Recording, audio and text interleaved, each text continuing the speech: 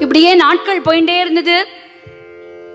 ஒரு நாள் ஒரு பெரிய மகான் துவாரகைக்கு போறார். அவர் எந்த ஊருக்கு போனாலும் அந்த சுவாமி அவர்கிட்ட நின்று பேசும். துவாரகையில போனார். துவாரகைக்கு போனா துவாரகாதீசன் பேசவே இல்லை. என்னடா அது பகவான் பேசவே இல்லையே. எதனாலன்னு புரியவே இல்லையே புரியவே இல்லையே புரியவே இல்லையேன்னு பார்க்குறேன் அப்புறம் பகவானே சொன்னார் நீ என்னை தேடாதப்பா நான் இங்கே இல்லவே இல்லை. நான் என்னுடைய சிஷ்யனான ஏகநாதன் கூட இருக்கேன். நீ அங்க வா அப்படின்ட்டார். இவர் நடக்கிறார் நடக்கிறார். இந்த பிரதிஷ்டானபுரம் இனியோட பைத்தான் இங்க வந்துட்டார். வந்துட்டு இந்த ஊர்ல கேட்கிறார் ஏகநாதர் இங்க எந்த வீட்டுல இருக்கார்? இந்த வீடு தான் வா வா வா அப்படின்னு பிடிச்சி போட்டா. ஆனால் ஏகநாதருக்கு அதுக்கும் ஒன்றும் சம்மந்தமே இல்லை. அவர் பாடு திண்ணே இல்லை பாகவதம் எழுதிட்டு இருக்கார். இங்க வந்தார் இவர் வந்துட்டு வாங்க வாங்க வாங்கோ. ஏகநாதர் அப்படின்னு ஒருத்தர் இந்த ஊர்ல. அடியேன் தான் அப்படியா? உங்கள்கிட்ட பேசணுமே அப்படின்னார். அவர் எழுதின்னு இருக்கார் பேச மாட்டார். அதனால அவர் என்ன சொல்லிட்டார்? உட்காந்துக்கோங்க என்ன வேணும்? அப்படின்னு கை காமிச்சார். எனக்கு கிருஷ்ணனை பார்க்கணும் அப்படின்னார். வருவான் வருவான் அப்படின்ட்டார். அவருக்கு என்ன தெரியும்? இவர் பகவான் கிருஷ்ணனை பார்க்கணும்னு. அவருக்கு அவருக்கு தெரிஞ்சது ஒரு கிருஷ்ணன் தான் அவரோட ஸ்டூடெண்ட் இல்லையா? கண்டியா கிருஷ்ணன்னா அவருக்கு தெரியும்.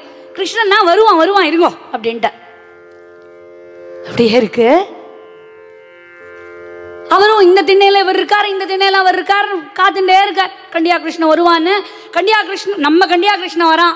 நம்ம கண்டியா கிருஷ்ணன் உரியில இந்த பக்கம் மூணு குடம் இந்த பக்கம் மூணு குடம் எடுத்துட்டு இங்க பார்த்தான் குருநாதரை பார்த்தான் இந்த பக்கத்துல பார்த்தான் வந்த இந்த சாதுவை பார்த்தான் இங்க பார்த்தான் இங்க பார்த்தான் அவருக்கு இவருன்னு தெரியாதே. இல்ல சாதுவை பார்த்தா உள்ள போயிட்டான். இன்னொரு பத்து நிமிஷம் ஆச்சு இப்பதான் அவருக்கு புரிஞ்சுது. என்னது இது? சுவாமி நீங்க வந்தேளே கிருஷ்ணனை பார்க்கணும்னு. அவன் தான் இப்ப உள்ள போனானே. என்னது கிருஷ்ணன் உள்ள போனானா?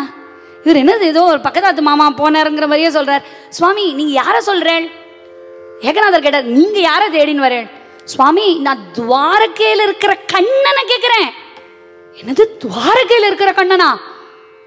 எனக்கு புரியலையே அப்படின்னாரு. ஒன்றும் இல்லை சுவாமி துவாரகையில் இருக்கிற கண்ணன் உங்கள் வீட்டில் பன்னெண்டு வருஷமா இருக்கானாமே. அவன் சொன்னானே என்கிட்ட அப்படின்னாரு. என்னது? பன்னெண்டு வருஷமா என்கிட்ட இருக்கானா? நான் உங்க ஆத்துல பன்னெண்டு வருஷமா இருக்கேன்னு என்கிட்ட சொன்னா அவர் ஆத்துல போய் பாரு அவரோடயே இருந்தாரு என்ன? ஒண்ணுமே புரியல. இருங்கோ. சிங்கே ஆல அவர் கொஞ்ச நேரம். பன்னெண்டு வருஷமா இருக்கேன் நான் பன்னெண்டு வருஷமா ஏன்னா அன்னைக்கு தான் பேசிக்கிறார். ஏ கண்டியா கிருஷ்ணா நீயும் விளையாட்டு போக்கில் வந்து பன்னெண்டு வருஷம் ஆயிடுதுடா இந்த ஆத்துக்கு அப்படின்னு. ஆமா குருநாதா இன்னும் ரொம்ப வருஷம் இருக்கணும்னு பேசிட்டு இருக்கார் பன்னெண்டு வருஷமா பன்னெண்டு வருஷமா? கிருஷ்ணனா கிருஷ்ணனா எங்க ஆட்லையா எங்க ஆட்லையா திருப்பி திருப்பி திருப்பி திருப்பி திருப்பி கேட்கிறார் ஹே கிருஷ்ணா என் வீட்டில் வந்து பன்னெண்டு வருஷமா நீ இருக்கியா? இப்போ ஓன்னு அழறாரு ஹே கிருஷ்ணா. உன்னோட பூஜைக்கு நீயே சந்தனம் அரைச்சு கொடுத்தியா? நான் என்ன சாந்தி பண்ணியா வசிஷ்டரா உனக்கு குருவா இருக்கிறதுக்கு? கிருஷ்ணா நீ என் வீட்டுக்கு வந்து என் கிரகத்துக்கு வந்து பத்து பாத்திரம் தேய்ச்சியே கிருஷ்ணா? உனக்கே இது அடுக்குமா? எங்களுக்கு எப்பேற்பட்ட பாவம் இது? பத்து பாத்திரம் தேய்ச்ச உன் பூஜைக்கு நீயே சந்தனம் அரைச்சு கொடுத்தியே. புஷ்பங்கள்லாம் அழகா பறிச்சு கொண்டு வந்து குருவே இந்த பூவை இந்த பகவானுக்கு போடலாமா? நல்லா இருக்குமா? அப்படின்னு நீயே வந்து கேட்பியே உன் பூஜைக்கு நீயே பண்ணிண்டியா சோ கிருஷ்ணா எனக்கு என்ன பண்றதுனே தெரியலையே.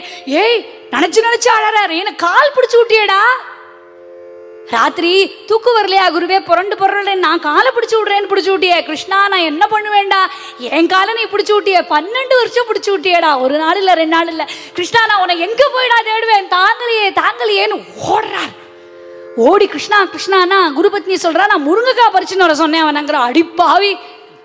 கிருஷ்ணனை முருங்கைக்காய் பறிக்க சொன்னியானா அவன் தேடினா கிருஷ்ணனே காணும்.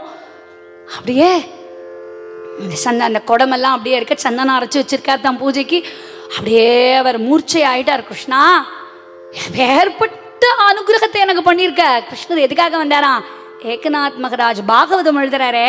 இவர் எப்போ எழுதுறது எப்போ நம்ம படிக்கிறது? காலம்பரம் எழுதினா உடனே நம்ம படிக்கலாங்கிற ஆசைக்காக பகவானே வந்துட்டான். என்னன்னா குரு சேவை பண்ணினா கைமேல பலன். இவர் பன்னெண்டு வருஷம் ஜனார்தன மகராஜுக்கு குரு சேவை பண்ணாரா? கிருஷ்ணனே இவருக்கு பன்னெண்டு வருஷம் குரு சேவை பண்றான். கலியுகத்தில் குருவுக்கு சேவை பண்ணுறதுங்கிறது எப்பேற்பட்ட அனுகிரகம்ங்கிறது இந்த மகான்களுடைய சரித்திரத்திலேருந்து நமக்கு நிறைய டேக்அவேஸ் பொறுமையாக இருக்கணும். அடித்தாலும் எச்ச துப்பினா கூட எப்படி ஏகநாத் மகராஜ் பேசாமல் இருந்தார்?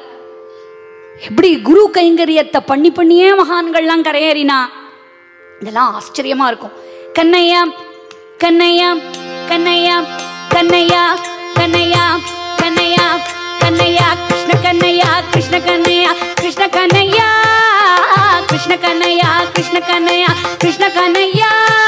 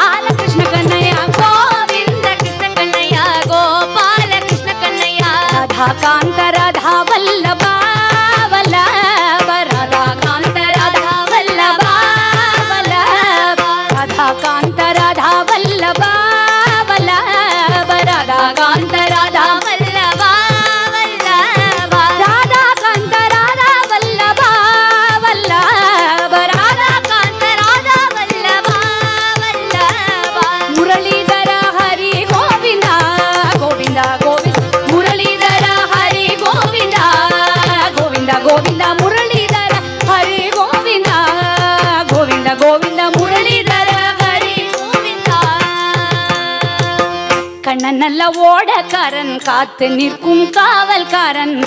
கண்ணன் நல்ல ஓடக்காரன் காத்து நிற்கும் காவல்காரன். நற்கருணை ஓடக்காரன் நல்ல படி கரை சேர்ப்பான். நம்பியதன் ஓடம் ஏறுவா. கிருஷ்ணகன்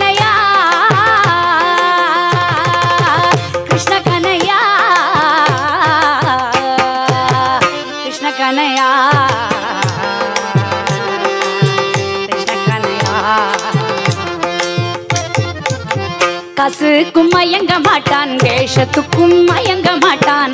கசுக்கும் மயங்க மாட்டான் வேஷத்துக்கும் மயங்க மாட்டான். வசித்து காணலையே பூஜித்து காணலையே. வசித்து காணலையே பூஜித்து காணலையே.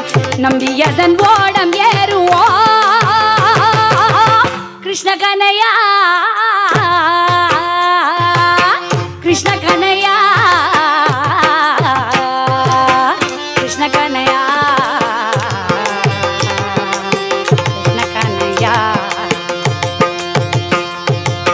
కనయ్యా కన్నయ్యా కృష్ణ కన్నయ్యా కృష్ణ కన్నయ్యా కన్నయ్యా కృష్ణ కన్నయ్యా కృష్ణ కన్నయ్యా కన్నయ్యా కృష్ణ కన్నయ్యా కృష్ణ కన్నయ్యా కన్నయ్యా కృష్ణ కన్నయ్యా కృష్ణ కన్నయ్యా కన్నయ్యా కృష్ణ కన్నయ్య